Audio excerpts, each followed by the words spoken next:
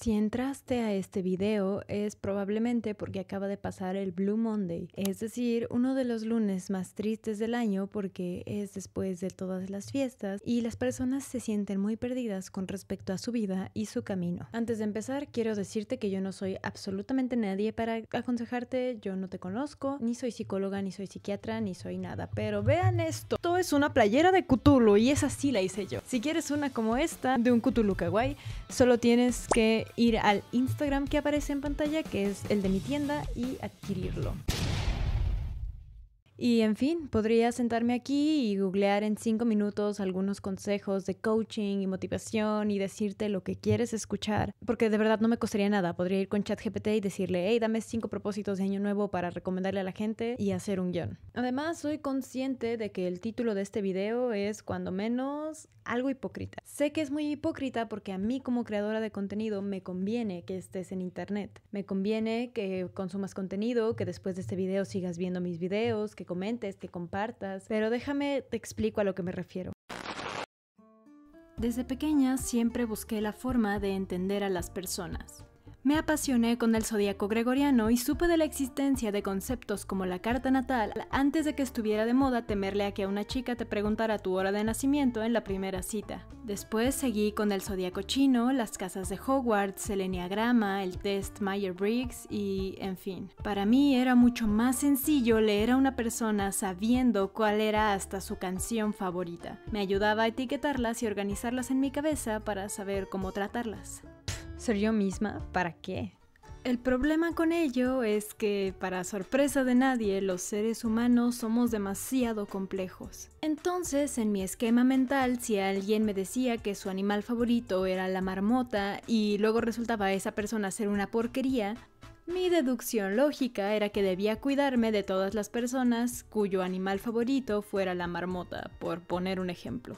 Vamos, que era mi modo de protección emocional más eficiente, dividir a las personas en secciones para saber si perder mi tiempo conociéndolas o no. Levemente fascista si me lo pregunto. Pero en fin, ¿qué tiene que ver esto con Internet? No es secreto que los algoritmos de las redes sociales están hechos para personalizar tu contenido, ya que a los seres humanos nos fascina que nos den la razón en cosas que ya pensamos, vamos, que nos confirmen nuestros sesgos. A esto se llama, valga la redundancia, sesgo de validación subjetiva, y lo que genera es que tu cerebro no contraste información, no busque puntos en contra. ¿Para qué? Entonces pasas horas y horas recibiendo validación, lo que se traduce a que, por ejemplo, yo soy vegana y paso horas y horas viendo contenido en TikTok sobre recetas, sobre veganismo, sobre todo ese tema. Bajo a cenar y veo que mi familia pidió tacos. Es imposible que no me genere cierta incomodidad porque de alguna forma se reventó mi burbuja. Ya no estoy en esa fantasía donde todos piensan como yo. No preciso recordarte que las redes sociales no son una ventana al mundo real y nunca fue su intención serlo. Y claro que entiendo la necesidad de hacer de nuestros espacios de ocio un lugar seguro, donde encontrar personas afines a ti. El mundo ya es demasiado hostil como para no bloquear de inmediato a alguien que te insulta en Twitter. Pero como es tan fácil, después vas a empezar a bloquear a personas basándote en una etiqueta en su perfil, o que simplemente no están de acuerdo contigo en una mísera cosa, y el algoritmo va a aprender de ti para evitar que te cuestiones la próxima vez. Ahora te contaré una anécdota personal.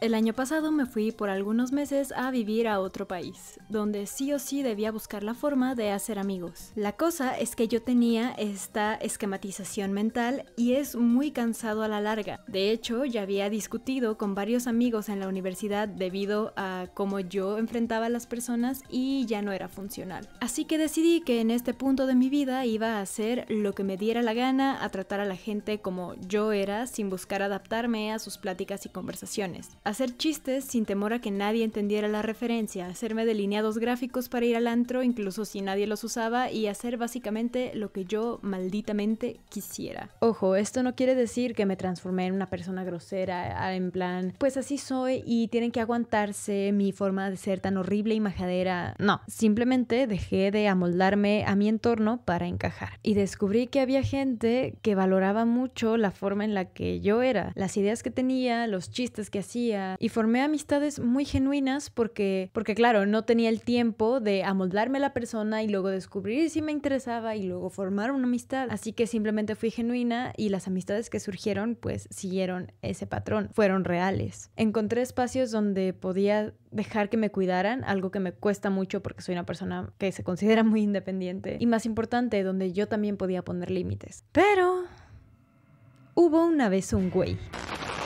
Lo conocí porque uno de los primeros días hicieron una dinámica de integración, de esas en plan, di tres cosas sobre ti, una debe ser mentira y los demás adivinan cuál es cuál. Y resultó que este sujeto había sido militar, y como el intento de hippie que soy, eso en mi mente ya marcó cierto repele. Al principio, en cada fiesta había una historia de él. Si no era porque decía algo machista, decía algo racista de los mexicanos, marroquíes, etc. E incluso llegó a hacer un chiste sobre cierta agrupación liderada por un hombre con bigote frente a una chica alemana. Mi reacción en ese momento fue pensar, ok, este sujeto no me cae bien. Y procedí a hacer lo que llevaba haciendo mucho tiempo desde pandemia, cancelarlo. Pero pasa que es difícil evitar a alguien así cuando estás de intercambio, pues luego salían viajes o salidas y él vivía en la misma residencia que algunos amigos. Evidentemente me lo topaba muy seguido. Luego de unos meses me di cuenta de que estaba muy desinformado, claramente, y en su propio círculo él podía permitirse hacer esos chistes, claro, pero en un ambiente más plural no sabía cómo cotorrear, cómo socializar. Al final, como pudo, se adaptó. Ahora, no voy a sentarme aquí y decirme que ahora somos los mejores amigos y nos escribimos todos los días, porque no. Pero darme el tiempo de conocerlo, conocerlo, de que pues estuviera en los mismos lugares que yo, con las mismas bolitas de amigos, salir de viaje de vez en cuando, me hizo pensar en cómo si yo me lo hubiera topado por alguna razón en algún hilo de Twitter o en comentarios de TikTok, lo habría bloqueado así, sin pensármela dos veces, con el primer comentario que dijo. Pero en en la vida no es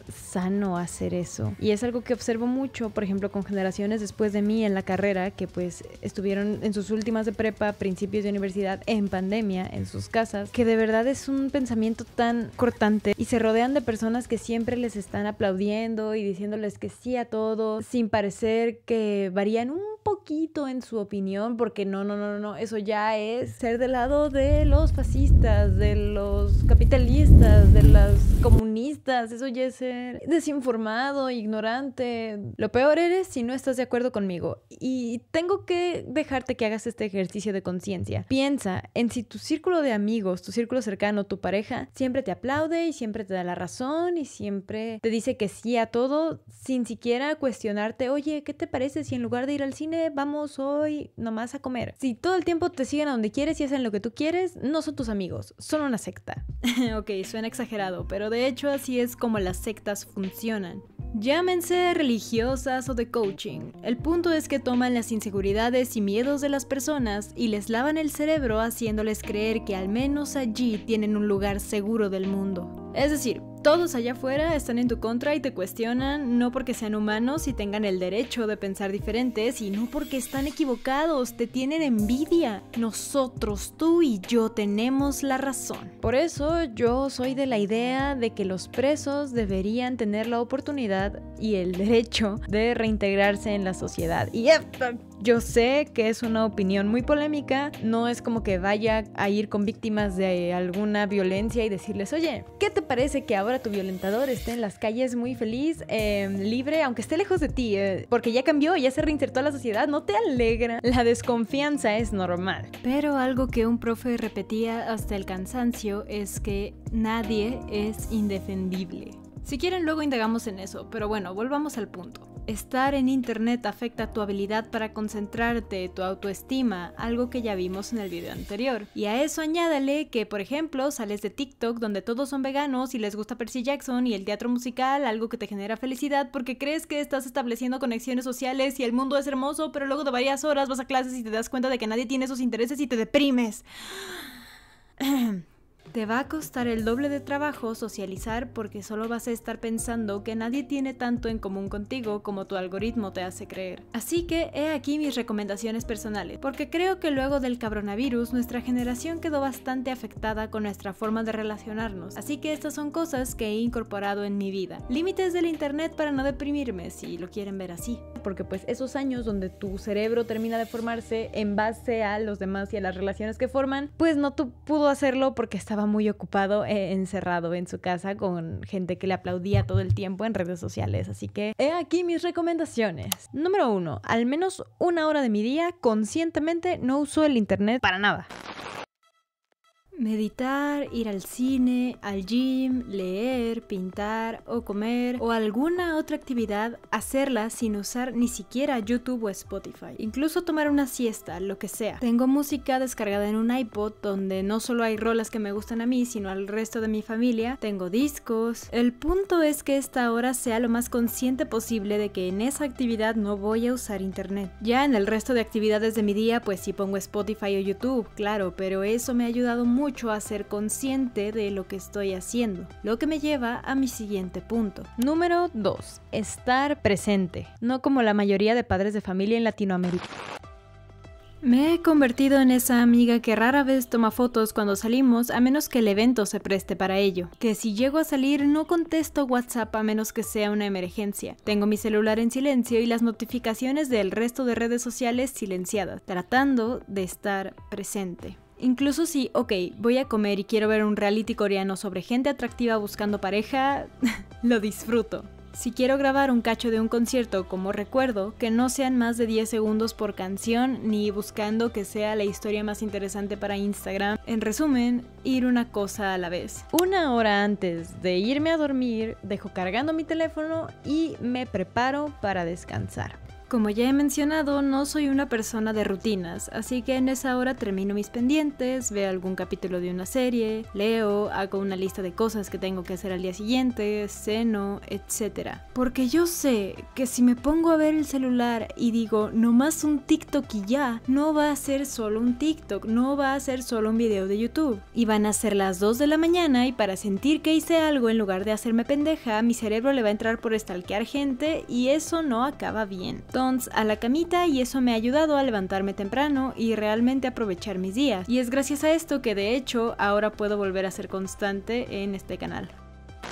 Espero que estos consejos les hayan servido, espero que les haya gustado este video. Al final estamos en una era donde hay demasiadas expectativas para todo. Que si a los 19 ya tienes que haberte independizado, que si a los 25 tienes que estar viajando por todo el mundo, que si quieres tener hijos joven, no, porque pues ya vas a desperdiciar tu vida, que si quieres tener hijos muy grande, no, porque no vas a aprovechar a tus hijos. Todo lo que hagas tiene que estar perfecto, medido, de acuerdo al plan, de acuerdo al estándar, y no se puede. Y la verdad es que tenemos que dejar de vivir con esas expectativas. Mi video anterior es muy parecido. Hablé más que nada acerca de la belleza en plan apariencia física y las expectativas que tenemos gracias a TikTok por tantos consejos que hay para todo. Es que hay consejos para todo. El, el tema es que con TikTok vas bajando tan rápido que no tienes tiempo de discernir, no tienes tiempo de cuestionar, de... No es como cuando lees un paper o un artículo y dices, ah, no estoy de acuerdo en esto, esto no sé, ah". tu atención no da para eso. Entonces, ahí lo dejo, espero que les sirva, eh, espero que les haya gustado este video. Muchísimas gracias por suscribirse al canal, muchísimas gracias por todo el apoyo que he estado recibiendo y recuerden que si les interesa esta playera o cualquiera de las playeras de la tienda, solo tienen que escribirme por DM a el Instagram de la tienda porque pues ahí es donde por ahora estoy gestionando los envíos. Preferentemente zona metropolitana de Guadalajara. Si eres de algún otro estado de la República, gestionamos eso. Vemos. Pero en fin, soy Itzcali y estoy practicando ser un poco más extrovertida, aunque a veces no me sale. Y nos vemos en el siguiente video. Chao, chao.